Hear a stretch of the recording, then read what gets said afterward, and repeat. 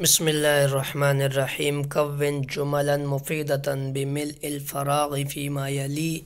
یعنی بناؤ جملہ مفیدہ جملہ مفیدہ بناؤ۔ بیمان سے ملی بار کر الفراغ خالی جگہ فی میں ما یلی جو ملے ہوئے۔ یعنی نیچے آنے والے جملوں کو خالی جگہ بھر کر جملہ مفیدہ بناؤ۔ تو البیتی دیا ہوا مغلقن، تو آپ لکھ لیجیے باب البیتی مغلقن۔ البیت من گھر مغلقن بند ہے تو گھر کا دروازہ مضاف مضافلے کرنا ہے۔ باب البیتی گھر کا دروازہ مغلقن بند ہے آئینہ من کہاں سیارتی من کار، تو مفتاح لیا یہ مفتاح السیارتی۔ اینا مفتاح السیارتی۔ کار کی چابی کہاں ہے؟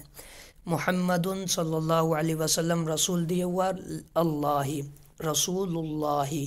محمد صلی اللہ علیہ وسلم اللہ کے رسول ہیں۔ رسول اللہ رسول تو رہے گا اللہ ہی اور آ جائے گا۔ الطبیبی دیا ہوا ہے ڈاکٹر بعید دور بیت الیہ۔ بیت الطبیبی بعید۔ ڈاکٹر کا گھر دور ہے بیت الطبیبی بعید۔ القرآن دیا ہوا کتاب دیا ہوا اللہ لیے قرآن اللہ کی کتاب ہے۔ القرآن کتاب اللہ۔ خدیجہ دیا ہوا ہے بنت لیے بنت حامد۔ خدیجہ، تو بنتو حامد، خدیجہ حامد کی بیٹی ہے۔ انا دیا ہوا ہے، المدرسی دیا ہوا ہے، استاد ابن انا ابن المدرسی، میں استاد کا بیٹا ہوں۔ الطالبی دیا ہوا ہے مقصور قلم الطالبی مقصور طالب علم کا قلم ٹوٹا ہوا ہے۔ بابو دیا ہوا ہے، مفتون دیا ہوا باب المسجدی مفتوح مسجد کا دروازہ، مسجد کا دروازہ کھلا ہوا ہے۔ خرج المدرس من بیت المدیری خرج معنی نکلا المدیر معنی استاد مدرس معنی استاد من معنی سے بیت معنی گھر المدیر معنی پرنسپل پرنسپل کے گھر سے استاد نکلا اس کے بعد چھ نمبر جملہ دیا ہوا صحیح الترکیباتی التالیت صحیح کرو ترکیبات ترکیبات نیچے جو ترکیب ہے التالیہ نیچے آنے والی ترکیب کو صحیح کرو، غلط لکھیے صحیح کرنا ہے۔ جیسے القلم و طالبی لکھا ہوا تو الفلام اٹھائیے۔ قلم الطالبی قلم الطالبی باب السیارت لکھا ہے تو سیارتوں پہ زیر دیجیے۔ باب السیارتی طالب علم کا قلم، کار کی چابی۔ بنتو حامد لکھا ہوا تو لکھے بنتو حامدن مضافلے پر زیر آتا حامد کی بیٹی۔ الرسول، اللہ لکھا ہوا تو لکھے رسول اللہ الفلام اٹھائیے۔ اللہ کے رسول، کیونکہ مضاف پر الفلام نہیں آتا۔ اسم دیا ہوا ہے الولدہ دیا ہوا ہے تو لکھے اسم الولدی، مضافلے پر زیر آتا ہے۔ لڑکے کا نام۔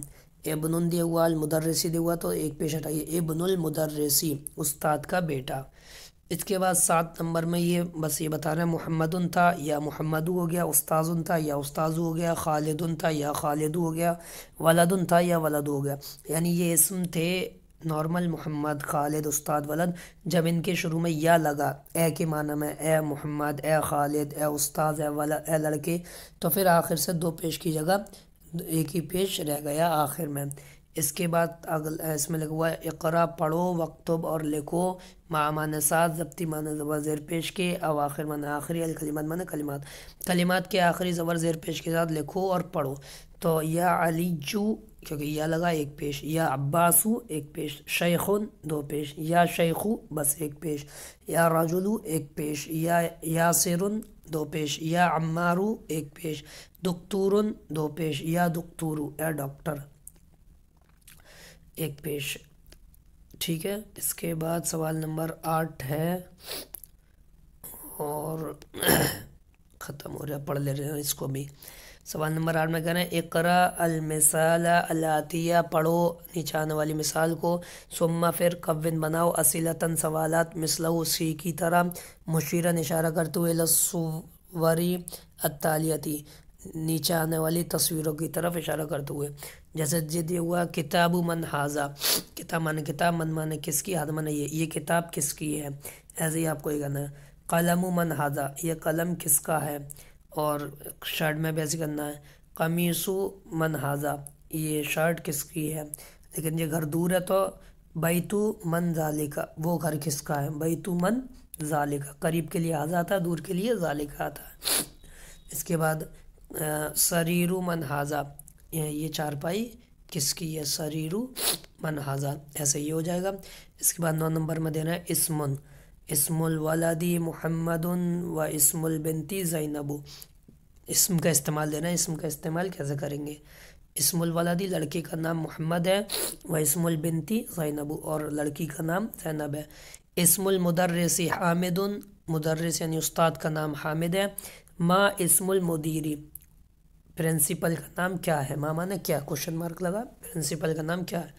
اب یہاں پہ ابن کا استعمال لے رہے ہیں۔ ابن خالد فی المدرستی۔ ابن مان بیٹا خالد من خالد۔ خالد کا بیٹا مدرسے میں ہے۔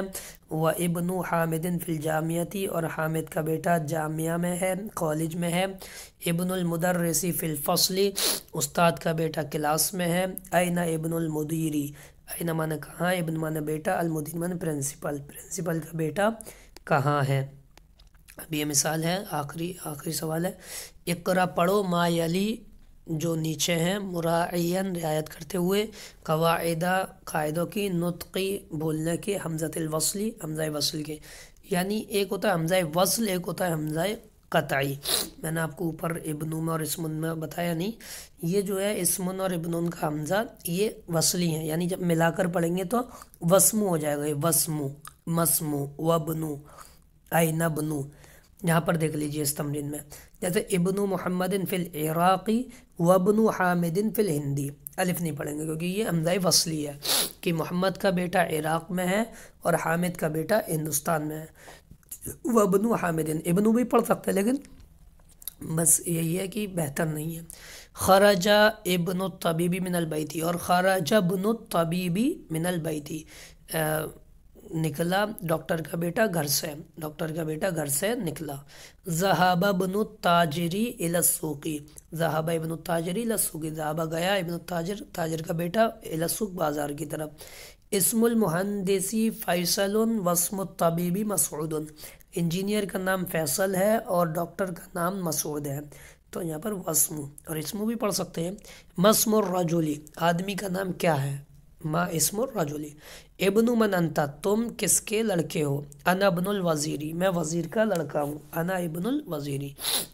الکلمات الجدیدہ ہیں۔ الرسول، رسول الکعبۃ، کعبہ، الاسم نام۔